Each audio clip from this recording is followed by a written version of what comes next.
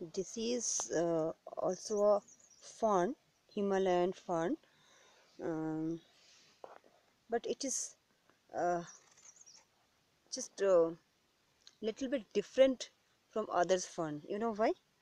Because it is creeping on the ground.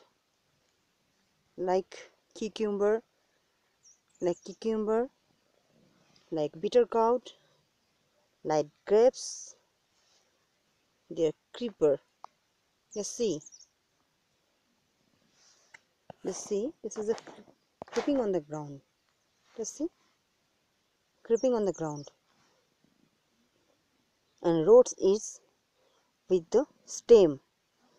That's why it's connected with the soil. Just see. This is connected with the soil. It is one kind of creeper creeper fern because it is creeping on the ground. Look it's different.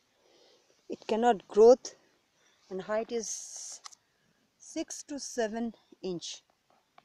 And this is a 6 to 7 inch is height. And always creeping on the ground like bitter gourd like pumpkin etc. It can claim claim also. Looks look look. If uh, we can give a support this one can climb upper side. Otherwise it will creep and now it is creeping on the ground.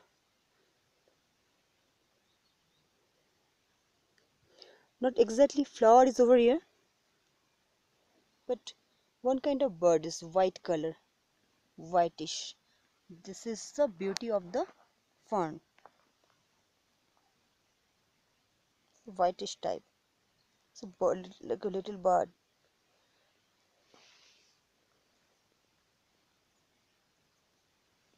it's different no i think i think this is different you also like me.